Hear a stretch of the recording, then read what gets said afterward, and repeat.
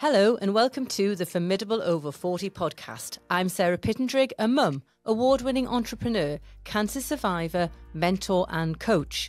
In series two of the podcast, we're sharing new stories along with the ethos that you are never too old and it's never too late to design a life you love. On this episode, I'm joined by Julia Bueno. Julia practices full time as a psychotherapist in London.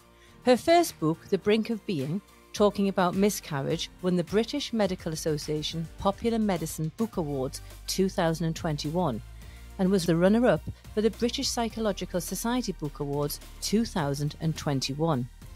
She has a particular expertise in working with pregnancy loss and infertility and has met thousands of self critics in her consulting room. Her writing has been published in The Times, The Sunday Times, The New York Times, Psychology Today, and she reviews books for the Time Literary Supplement. Julia's newest book, Everyone's a Critic, is focused on how we can learn to be kind to ourselves. I'm looking forward to hearing more about Julia's incredible work on this episode of the Formidable Over 40 podcast. Before we do, please do rate and subscribe to the podcast so I can keep sharing more inspiration just like this. So, welcome. Thank you very much for having me, Sarah. Good to meet you. Oh, it's great to meet you too. I've given a little bit of an intro there to you. I'm sure there is so much more to share. Would you tell the listeners a little bit more about yourself? Um, yeah, well, I'm I'm definitely over 40. Um, I'm not sure whether I'm formidable. We can come on to what that means for me. But um, as you say, I'm, I'm a psychotherapist. Mm. Um, and I work uh, full time in my private practice in London. I mm. used to um, have a bit more of a sort of smorgasbord career as psychotherapist, working in NHS settings and uh, for uh, charities, and I did work at a university counselling service. But in more recent years, I've just been solely in private practice. And mm. as you've mentioned, um, that's reflected in both the books that I work in, have written about. Mm. Um, I have sort of specialist interests in um, uh, uh reproductive loss and indeed this pesky notion of self criticism that runs like a golden thread through pretty much everybody who walks through my door, whatever their presenting issue. Yes. Um, but uh, yeah, I, I, I started maybe worth just as a I started my professional life way back when, very briefly as a lawyer um, right. a, a, disastrous one. And I, I, sort of gave myself the red card before. I think the solicitors firm did, and and then kind of went um, in a different direction and ended up requalifying in my sort of late twenties, early thirties. Yeah. To psychotherapy. So I've been at, at that one for a couple of decades now. So to go from law, which is it's very interesting. So you went in to study law, then took the step back, said that's not for me, went into psychotherapy. Where did that come from then? Because that's quite a shift. Yeah. yeah. I mean, I I studied law at university, and I, I sort of did a bit of graduate law, um, did a bit of teaching of law. Uh, so I went a bit even further. I qualified as a, a lawyer and practiced for a year, but all along the way, I knew I was bending myself out of shape. Mm. So I was put on the the law track at an early age through sort of influences around me. Should we yes. put it that that yeah, yeah, yeah. it it never it, it, wasn't springing from my own heart, and it took mm-hmm. a very long time for me to to get the courage to mm-hmm. actually be true to myself and and leave. Um, and psychotherapy was slightly the direction I was tilting toward. Um, for a number of reasons, but actually, I found myself with the law that I was doing, and I ended up doing um, what's called private client private client law. So I was sort of talking to very high net worth individuals about mm. um, their assets and trying mm-hmm. to kind of help them rearrange them in a legal way to be more tax favorably. I just didn't care mm. about that. But what I really cared about was the stories and the people yes. I was meeting and the, mm-hmm. the family stories that I was listening to in these rooms. So this sort of really piqued my interest into yeah. looking into another direction. And eventually that's, that's, um, yeah, and that's a brave thing to do because there'll be a lot of listeners who who'll have a, share a similar story. And I see, I in my other life, one of my other lives, I mentor and and support female CEOs and female founders, and it's very interesting, as you say there, how many people have followed did for for a, a long period of time followed the path they thought they had to follow, mm-hmm. that they should follow, you know, and it takes it is a, a, a, strength, isn't it? It takes huge strength and courage to say, hang on a minute, stop. This isn't this isn't serving my purpose. This isn't absolutely. this isn't giving filling me with passion. No. how did you come to that? Uh, you came to the conclusion because it obviously it wasn't you know mm. giving giving you that passion and inspiration and energy that you know you get when you're doing something you love. How did you manage to make that bold decision? What was well, there, a, was there a point yeah i mean i literally remember the tipping point mm. um still and this was over 25 years ago, um, waking up one morning, I was living with a friend in a sort of flat share in London and um, washing my teeth very early in the morning and looking at a bar of soap in the, in the sink and thinking, if I nibble at this soap and make myself sick, oh. I really do, I, I've got a genuine excuse not to go to work today. Yeah and I, you know, I the one bit of my brain clocked that and thought this really isn't. This is not. This mm-hmm. is this, this is not the way to live. So, but yeah. I, but I do have to put it in context. I was lucky enough to be. I was then in my mid twenties. Mm. I didn't have a mortgage. I didn't. I wasn't married. I didn't have kids. I didn't have yeah. any responsibilities. So I had a bit of flex in my life to be able mm-hmm. to make that change. And it's, yeah. you know, I, like yourself, you know, it's it's it's a different dimension when you want to make a sea change when you've got a lot of other things in place. Yeah, exactly. Yeah. So to have that, that was the right time. That it was. Pivot, it was, wasn't it? Yeah. So we talk about being formidable over 40 and it means a lot of things to a lot of different people and it, and it's for me the the formidable over 40 podcast the ethos behind it is is I I say to everyone I don't believe you're ever too old it's never too late you're never too old, it's never too late to design a life you love. And I speak from my own experience because it took me to be 40 before I feel I found myself and my own voice. And I think 50, I'm 51 now, before I actually found real confidence and that courage to say no when I mean no and to say yes when I want to say yes. And that's a lot of decades to go through to mm. get to, to that mm. point. But I think there's a lot of people get to a point where they, they hit midlife and they think, this is it. This is it. I'm I'm stuck and, and I've just got to put up with I think people uh, sometimes of our generation were told you just put up with your lot. And I don't think you have to. I'm a very passionate believer that it is never too late. So that's about bringing on wonderful guests like yourself who can share the stories and you know inspire people to realize that you are it's never too late you know what does formidable over 40 mean to you? Um, I, I, I, guess I sort of echo what what you've just described. That f- for me, there's something about um, taking stock mm. and and marshalling the wisdom that you have accrued over the decades, because we do just through mm. the living of life and um, being able to take a kind of inventory of, of oneself and and ask yourself some hard questions about mm. uh, what it is that we are capable of and not capable of, and what we want and what we don't want, and being being real about that. Um, it, it, and as you say, I think it can be, if all goes well, quite a liberating process to realize mm. that we mm. can say no and we can say yes, mm. and and something that you touched on about um, when we chatted just off air about mm, your yeah. introduction about mm.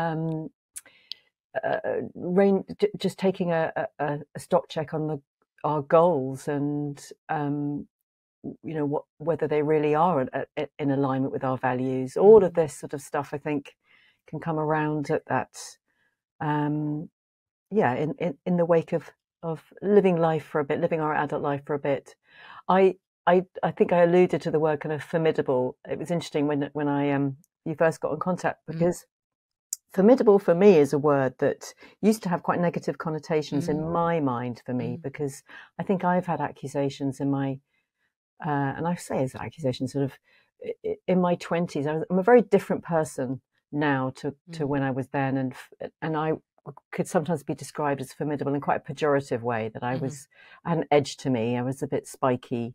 Mm. Um, probably could be maybe quite unpleasant at times. I don't know, mm. but mm. um, whereas now formidable has a different connotation. It's it, it, has a more kind of grounded quality and a softer edge to it, and a, a sort of strength rising out of um, a more kind of compassionate place, I think, yes. than a than a defensive, fearful place. Yeah, I don't know whether I, that makes sense. It makes absolute sense, and I think that's absolutely it. And that's why I used the word because oh. it has it, it can mean so many things to so many different people. Yeah. And often, and and again, you you're the psychotherapist. Oh God, I'm not telling you what to do, but how many people appear to be formidable on the outside, um, hiding behind that s- strong smile, but actually inside, they really Mm. are feeling anything not you know anything but formidable Mm. um and what what i'm trying to say again with that word formidable it's about using the lessons that we've picked you know that we've gone through these tough lessons that we've gone through through the decades and there'll be failure there'll be adversity there'll be pain there'll be happiness there'll be all so many different feelings and experiences that we've gone through and it's to put them into um into our backpack if you like to to to make us formidable in terms of believing and knowing and understanding that we are never too old we're never too late because we've got such a wealth of experience now. And that is what will make us formidable.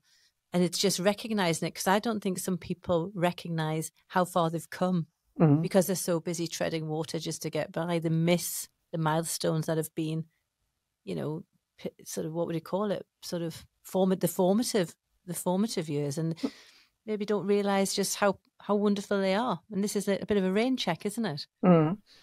you know um so if we go back to you you mentioned there about your 20s and how different you were then to now. So i like to take my guests back to when they were 15 and you know what are your dreams? What were your hobbies? What were you doing? And then it sort of takes us onto that journey of where we are today so would you like to share a little bit about where you were Well, I'm, I'm, I'm sorry to sort of um, disappoint you there, Sarah, because actually, I, I, my 15 year old self was pretty unhappy. right I, yeah, I was a, Yeah. I wasn't a very happy uh, teenager, and I Mm. was very lost. And I think I already had a sense then of being put on some tracks that, Mm. as I said, you know, yeah me being a lawyer started quite early on. I think I was Mm. very bright at school. I was academically very high achieving, um, and sort of pegged for great things and to Mm. go to a top university and all of that, which I did. But um, I I think even then I was I detected that it didn't really sing true. So Mhm. I think my my dreams and hobbies were rather kind of shackled by kind of just getting getting through yeah um, getting through school. hmm yeah I was very no, happy with my peers and my friends, but yeah um, as I say, I had a I had an early sense of of of not really um, being in alignment. Yes, I totally resonate with that. I'll have to send you my book. I'd love to read it. I'll send you my book. um, so I'd, I'm really interested to talk about your book, Everyone's a Critic. Um, so rather than me share or, or, or I'd love you just to share with the, the readers how it came about and you know what what you do in your work you know the whole the whole thing and how you've come to write these you know use these case studies and so forth Could, would you share Yeah, sure. I mean, I um, my my first book was about pregnancy loss, as you mentioned, and Yeah. I was um, a, a really um, I didn't enjoy the writing process at all. I found it excruciating, but I think there was such a great sense of relief when it was published, and um, you know, it it could it could be um, my sentences made sense, and some people liked it and everything. So it inspired me. Um, and I think in the wake, I, I realised that actually I, I did really um, enjoy it, and I wanted to do it again Mm. um, with a bit more confidence. So I was scrabbling around for um, an idea, and it was actually my my husband, who's known me for thirty years, Yeah. just said, "Well, why don't you write about the next thing that you know so well?" And I Mm. said, "Well, what's that?" And he said, "Well, self criticism, duh." Mm. um, which has been a kind of personal cross to bear, and I have done a huge amount of work. And when I sort of say I compare myself now to that twenty-year-old self, well, Yeah. therein lies the big difference: is my Mm. relationship with myself. Uh-huh. So it sprung from that, and I think a lot of therapists and and maybe coaches like yourself and Mm. mentors, we tend to gravitate towards the areas that you know we have done personal work on and we know the best. So, Yes. Which in my case is pregnancy loss and self criticism. Right. So so that was why the idea came about, and I, knowing me as I do, and this is another kind of learning about kind of Mm. knowing what where my where my strong suits are and where they aren't. I'm never going to be a self help. Right, I, I I just knew I couldn't write a self help book. Mm. Um, as you're probably learning already, I'm I'm not very good at sort of bullet point um, thinking. So it, it just didn't fit with my style. So I wanted to somehow write about self criticism, but in a mm. narrative way. Yeah. So it came about um, the as you know, other therapists like Yalom and Susie Orbach mm. have written case studies. So in a way, I was sort of gifted this protocol of how to how to write about um, how to write about something with this case study um, uh, story format. So they're they're fiction. I've got uh, yeah seven. I was about to say eight. Thank you.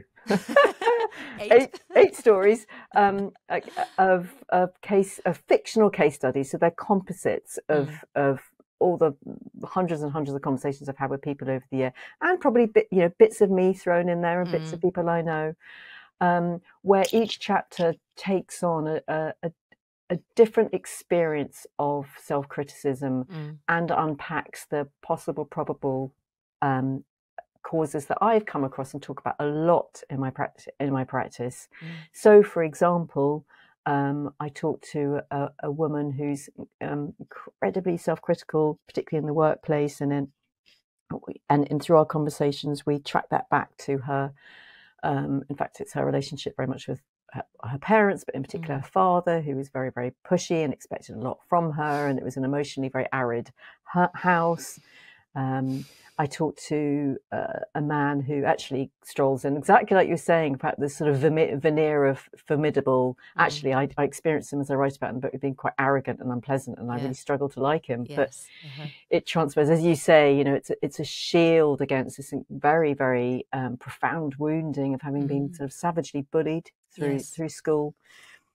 Um, and then just you know plucking one more. Um, I, I the, only one story is of a couple I work with couples as well as individuals who come to me and and their source of, of sort of um, self criticism as as a couple uh, uh, uh, through their experience of not being able to conceive and carry a child, which is mm. something that you know my other work tells me that is often a very profound source of um, low self worth. So as I say, there are there are plenty more stories in there, but yes. it it was through the kind of idea of of uh, of a, me just narrating a conversation with my clients in the room. Mm. So, um, yeah, the setting is very limited. It's in the four walls of my consulting room.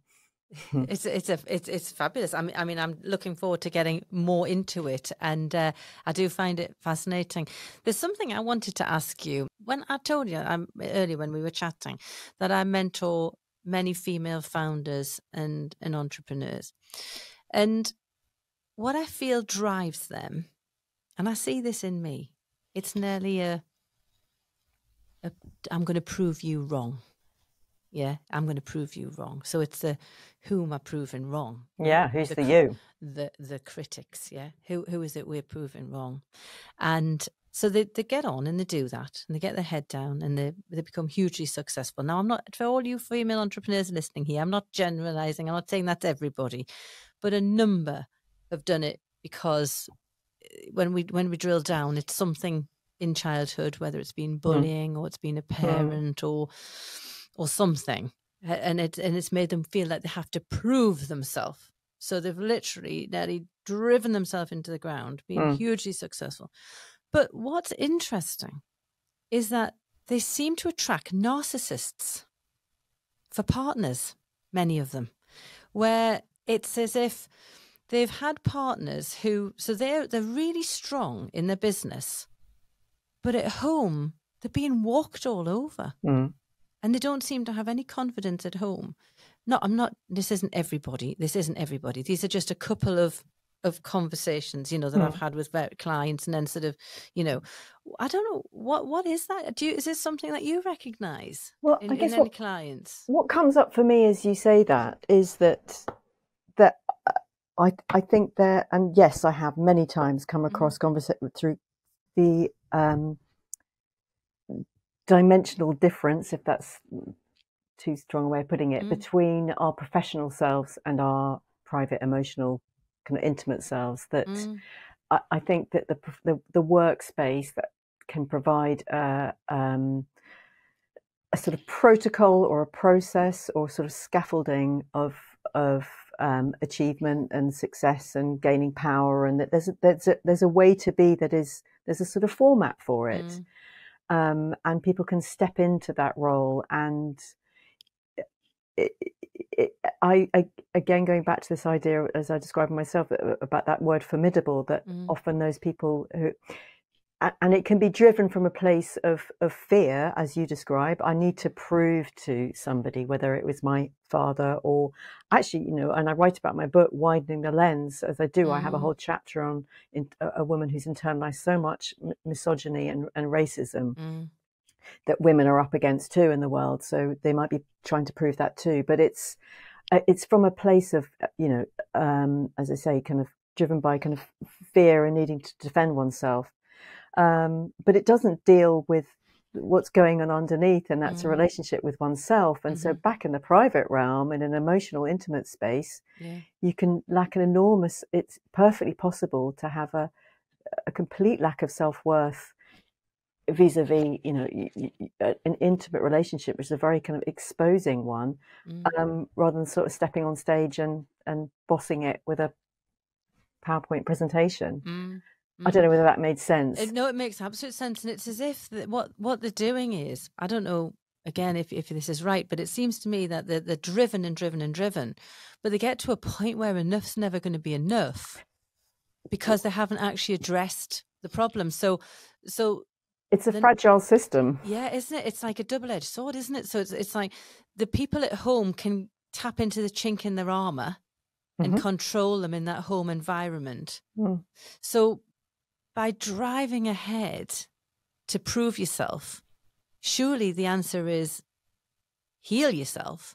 It is. And then drive yourself it is, to where you want to be. I agree. And it's it's sort of a bit it can become a, a, a bit addictive to kind of you know, you get your dopamine hits, but it's such a fragile and mm. and ultimately depleting system. If you're if you if you keep thriving well you're not thriving if you keep mm. getting your your little dose of self-worth by you know winning another client mm. or getting a pay rise or you know reach, reaching those targets that are put upon you mm. it, you know it, it's the next and the next and then it's a never ending cycle and mm. it's very depleting but if that's your only measure of getting a self your self-worth you're kind of trapped in that but yeah.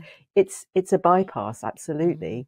from dealing with what's you know what's really going on why do you need yeah. to keep getting these hits i know exactly that's that's exactly it i mean and, there is a parallel with addiction work some now mm. that i'm talking about this in this way that mm. it's that you could see an analogy with you know having another drink and uh-huh. getting that or line of coke or mm-hmm. that's right buying some you know because it is an addiction. It is an addiction that money's never enough. Can be. Can because be. if you're going like, oh, I want a six figure business, right? Okay, I got the six figure business. Oh, I need a seven figure business. All right, so I've got the seven figure business.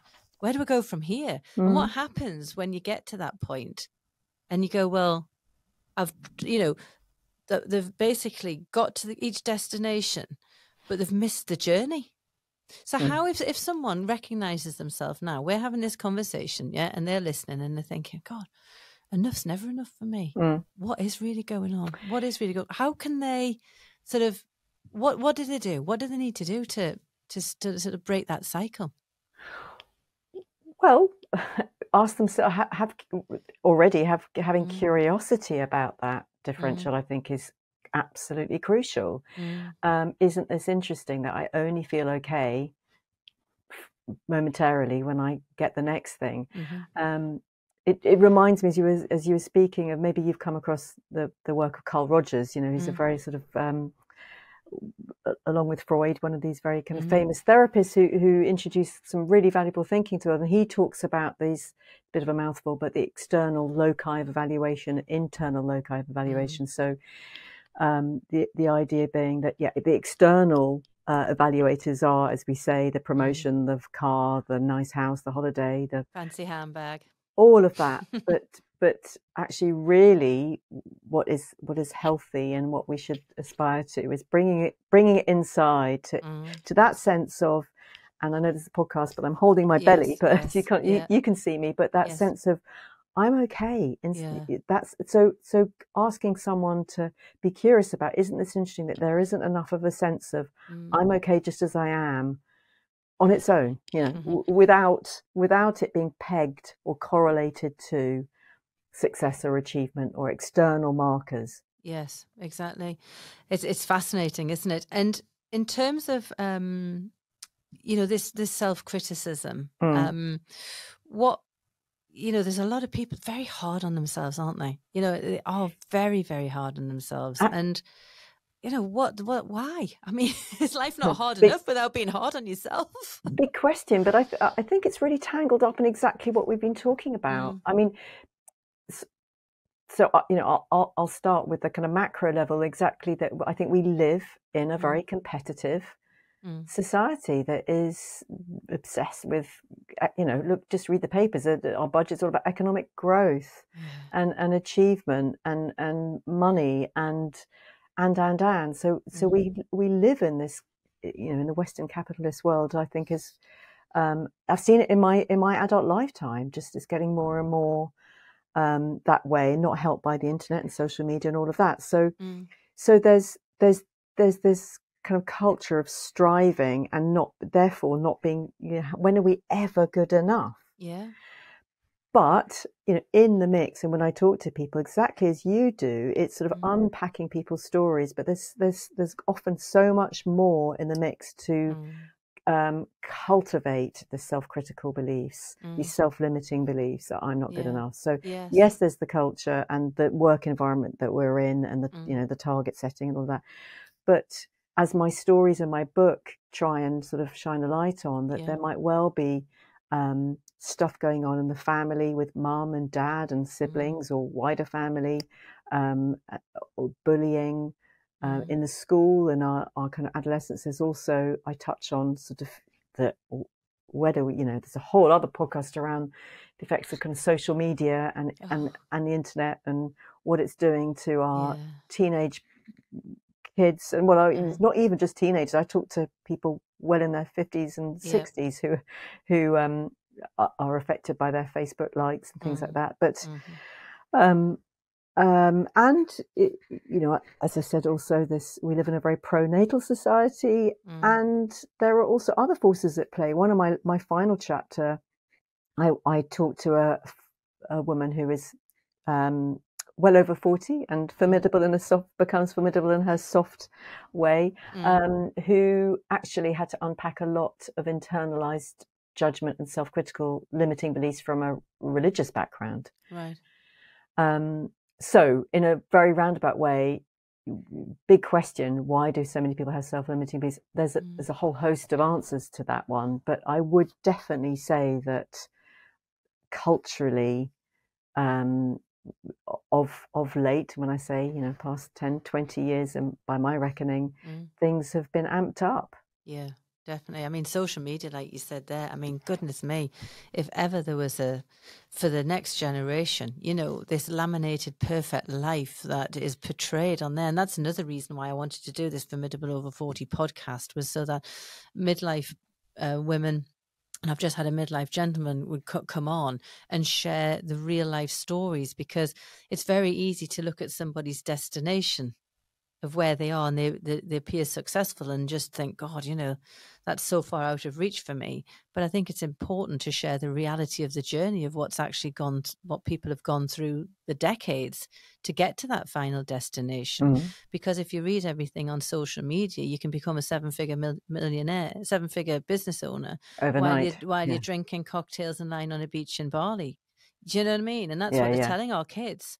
So our kids are setting themselves up for for fa- failure basically because yeah. it's like you know they're, they're, telling them if you can't do this you aren't good enough and if you don't look like this you're not good enough and i think it's so important to to be sharing the reality and the, and the mm. raw and honest stories so that you know I, i'd love to think that kids would listen to this and you know even if they're, they're listening to the parents listening in and think mm. on then so so these people haven't just appeared you know and, and got this perfect life through you know waving a magic wand that they've gone through huge peaks and troughs of adversity, joy, adversity, joy to get there. And it's not plain sailing. And by yeah. extension of that, we have distorted body images. Oh, that, you oh know, God, yeah. you know, we that body was not achieved through eating kale smoothies. It's been distorted by the camera lens and yeah. etc. I complete digression. It's not about me, but you know, I said I was an unhappy 15 year old, but I Yeah. thank my lucky stars I was born in Oh. 1972. Yeah, I was 71. Thank God we didn't have all that carry on. Oh, Horrendous. Um, don't think I would have survived. Filters, that's the trouble. You see, people don't realize these are all, there's a new filter on TikTok. And I, I don't know what the hell it's called, but there's this fancy thing now, and they put it on, and they instantly look like a movie star. You know, they literally, it, it looks so natural. You can't tell that it's a filter. And yet it, it makes everybody literally look like they're a movie star. So, how do you know if they are or they aren't? So, there's this suddenly aspiration that everybody's got to look like this filter. You know, it, is. It's a, you can understand why why people are self critical, can't you? When it's like that's what you're up against.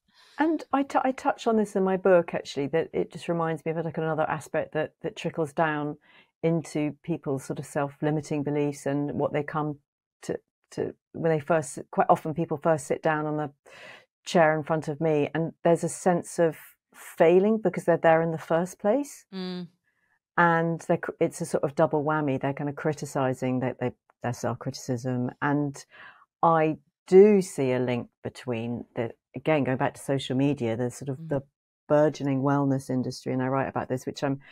You know, I'm I'm all for anything that helps anybody. You know, Yeah. I wouldn't be doing my job if I didn't have that that mindset. However, I do see a bit of a backlash that that people are internalizing this. But you know, I I do yoga once a week, and I do 15 minutes meditation, and I, you know, eat mm, Kale. uh, kale. Exactly. Let's go back to kale. I Um, kale. I've, I've stripped refined sugar out of my diet, yet I'm still miserable. I'm failing, and it's not Yeah. about you know. It's um, uh, all of those things are good, but again, it's going about it's it's bypassing the the the real stuff underneath. reality. and- Mhm. And also, there's this. I think sometimes, and I, I- you have more probably more contact with organisations than I do. That um, organisations can s- sort of swerve their own responsibility. You know, I Yeah. talk to a lot of people saying, you know, my boss is very kindly paying for this, but okay, that's good. But your Yeah. boss is also expecting you to produce,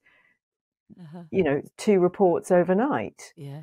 Um, very all well and good giving you an, a subscription to the Calm app or putting a yoga studio in one of the conference rooms, but let's deal with the fact that you need four more people in your team. That's exactly it. Mhm. Uh, that, uh, that literally sums it up, doesn't it? That sums the whole the whole thing up. Um, you touched on self-limiting beliefs, um, and you know, so many people are held back by self-limiting Yeah. beliefs and fear of what people think or what will they say, and you know, there's a huge lot of talent sitting on the fence because it's fearful of Yeah. you know being judged or you know actually pushing through that comfort zone Yeah. or those self-limiting beliefs have you ever suffered from self-limiting beliefs Absolutely. It was my uh, downfall. As I said, you know, my husband sort of said, look, this is something you know about. And, and it Mhm. was the, the um, absolute core of my own personal therapy and um, personal development work. Development work. I, I would never have described myself as someone suffering from anxiety or depression, but I would suffer from these very mm, powerful, for want of a better word, um, sort of shame attacks. You know, I would Uh-huh. be gripped by by this. So, um, yeah, no, that's definitely been kind of inspiring for the work that I've Mm. that I've done. I mean, I managed to dismantle it because you know, Mhm. going back to what we talked about through my own work, and this is very much reflective in the stuff that I I do myself now with my clients is. Um, uh, over time, I began to understand that my self critical belief that could feel so credible in the moment Mm. actually wasn't true, capital letter T, Mhm. you know, that it was internalized software, for, for want of a metaphor. yes Um, that for, for lots of very good reasons, I took in um, the belief that I wasn't good enough. And, and, you know, my personal story, and you know, it was for various reasons that was bespoke for me. You know, everybody's, everybody's story is individual. So in coming to realize that, that, you know, I didn't, and I, I, I sum it up that, you know, I don't believe any baby is born into the world thinking, yes "Oh, this. you know, my, my thigh's a bit fat for this Mhm. Pampers. Uh-huh. Um, and so, so it was through the kind of unpacking of the possible, probable, and then what sources of my self criticism, I could recruit all that thinking Mm. to then get some space around it. And eventually the space got bigger and bigger and bigger until I could, you know, now, and of course my self criticism hasn't disappeared. And sometimes I, I really need it. You know, mm. I I cock up all, all the time. I do need to rap myself over the knuckles, but but by and large, you know, I can see it for what it is and and have respect for it because always our, our self-critical part it was there for, is there as a creation with very good reason. We need to mm. respect it. We need to be kind and compassionate towards it because it was a, ultimately, in my experience, always a defense maneuver from that we created much often mm. in childhood, or maybe mm. you know maybe not always, but often has a long lineage. Mm-hmm. Usually, the more tenacious the self-critic is, it tends to have the longer roots. Yeah. Um, so as I say, yeah, recruit over, uh, recruiting all that thinking and, and, allowed me to just sort of wriggle away from it. Um, mm. And yeah, choose, choose something. And alongside that process is that was having to kind of re-educate myself uh, mm. to to the belief that that a lot of people struggle with that I I'm an uh, equal member of humanity. You know, I mm. should treat myself exactly like I do every other human being. No, no mm-hmm. better, mm. but certainly no worse. Yeah. And yeah. that's that's a real biggie for a lot of people. That's that you know on on paper that makes sense, but actually mm. believing it is yeah. often the real nub of the work. Getting someone to truly start treating themselves as they would someone else. It doesn't even have to be someone that they they they love or or you know quite often people treat strangers mm. better than they treat themselves yeah and it's about talking to yourself i always say you know i'm always saying this to my son talk to yourself as you would your best friend yeah, you know lovely. That, you know it's so important rather than being so hard on yourself he he's a he rides horses at a very high level oh, and wow. um, he's very critical he's only 23 but he's he's achieved so much in such young young life that you know he's really been hard on himself to get to there but and I always say to him, I just want him to be kinder to himself. You know, yeah. he's, he's only twenty three. Speak to yourself as you would your best friend. You know, and it's yeah. It's, oh, that's such a lovely mantra, and and certainly one that you, you know I yeah. beat like a drum all the time in my consulting room. And mm-hmm. there's um you know in the back of my book I've got lots of further reading, and one mm-hmm. very inspirational uh, thinker writer psychologist for me is a guy called Professor Paul Gilbert. I don't know whether you've ever come across him. No. Well, everybody listening to this needs to go and buy one of his books, Professor okay. Gilbert, because he is the sort of pioneering thinker on self compassion in the UK. There are some others in the US, but mm. he um, he he's the pioneer behind compassion focused therapy, which is a, a, development of CBT, cognitive, cognitive mm-hmm. behavioral therapy. Anyway, um, don't want to get into the weeds of that because we'll be here forever. But the point I was trying to get to is that he's really hot on, and he, when working about, when working with self talk, as you say, um, to to be really mindful about the the tone of voice you use and the kind mm. of in, internal sort of creature you inhabit as you say this to yourself. It's it's not going to work if we say, "Oh, you know, come on, you're really good. You know, you're wonderful." um, it's just like throwing jelly at the wall. You've really got to speak to yourself, but inhabiting that mm. compassionate mm. stance that you would for someone. Yeah. Definitely being kind to yourself. As people say, oh, be kind to yourself, be kind to yourself. I mean, that is, like you say, it's so much easier said than done because yeah. it's not something that's just going to happen overnight. It's something that you've got to really work on because it's changing the complete narrative of how you've spoken to yourself for bloody decades.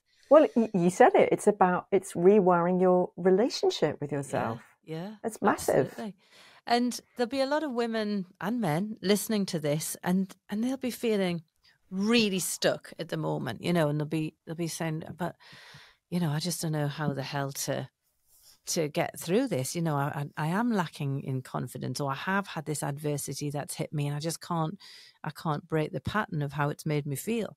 What is the first step? Would you say for them to break, you know, to start the process of, of breaking free, for reframing, for re, rewiring, whatever we want to call it, to help them to to cut loose and move forward?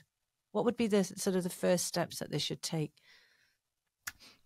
I reckon the first step would be a willingness and or, intent, or, or a curiosity mm-hmm.